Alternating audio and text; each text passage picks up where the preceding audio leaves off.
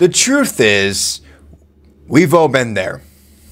Stuck in that rut, uh, replaying and replaying and replaying our mistakes over and over and over in our minds. Wondering what could have been if only we done things differently. But here's the thing. Yesterday is gone and it is never, ever, ever coming back. Yet, so many of us allow it to dictate our current happiness. And it's the sad thing is, it's always going to hold us back from experiencing the fullest of life. We have been guilty of dwelling our past errors, replaying them in our minds like if it was some bad movie. We continue to beat ourselves over and over and over what we could have done differently. Before we know it, that negative self-talk can, you know, snowball into a cycle of anxiety, depression, and a whole lot of uh, stuckness, if that's a word. Eventually, we're going to start to believe that we're just not good enough, that uh, we're destined to repeat the same mistakes over and over. And the truth is, if we're not careful, that's exactly what is going to happen to you and me and to everybody. The problem is when we dwell on the past and we're not just uh, reliving our mistakes, we're also missing out on the present moment. We're missing out on all the opportunities to learn, to grow, to move forward.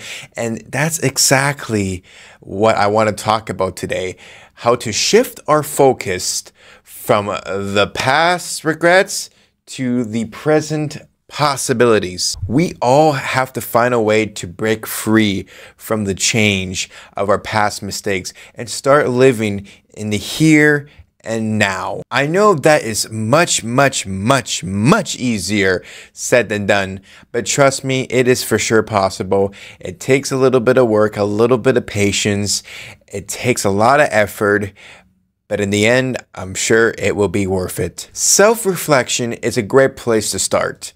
Take some time to really dig up deep and figure out what's holding you back in life. What are those negative thoughts that keep, you know, replaying in, in our mind?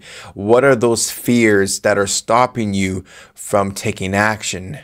Uh, once you have a better understanding of what is going on in your mind, you can start from there to shift and start to focus. Positive affirmations is also a very powerful tool. I know they might, you know, sound a bit cheesy, but trust me, they work. Start repeating positive statements to yourself every day, like, you know, I am capable, I am strong, I am worthy. You know, it might feel silly at first, but the more you do it, it will train your brain and the more you will start to believe it. And once you start believing it, that's when the magic starts to happen and starts to come into place. And finally, set new goals for yourself. What do you want to achieve in life? What do you want to accomplish in life?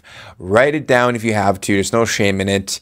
Make a plan and start taking action what I personally find is always having a plan, a roadmap, always helps me uh, very effectively. The more you focus on the present, the less time you have to dwell on the past. Let me just brainstorm and think of an example right here on the spot. Let's say there is a woman, right, who had been through some really tough times She's, you know, been in an abusive relationship. She's lost her job. And let's go to the extreme and say she even lost her home. And instead of giving up, she decided to take control of her life again. She started taking classes.